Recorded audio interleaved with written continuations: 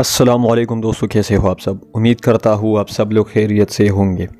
दोस्तों फीसटी के इस केस हवाले से जो है अपडेट आपके साथ शेयर कर रहे हैं, जो हमें अभी मौसू हुई, कुछ ज़रिए से मालूम हुए हैं, ये मालूम दोस्तों तो आपके साथ शेयर कर रहे हैं। तो दोस्तों इन टी एस का वकील जो है, वो भी कोर्ट में मौजूद था, यासर खान, और उनकी टीम भी जो है कोर्ट पहुँच गए थे। लेकिन एजुकेशन डिपार्टमेंट वाले का कोई पता नहीं है और एजुकेशन डिपार्टमेंट या हुकूमत जो है इस मसले को हल करने में इंटरेस्ट नहीं है और वो कोर्ट में आज हाज़िर रहे। और आखिरकार एजुकेशन वालों ने जो है आज की तारीख में पेश नहीं, उन्होंने कोर्ट से मोहलत मांग लिया अगली समात के लिए।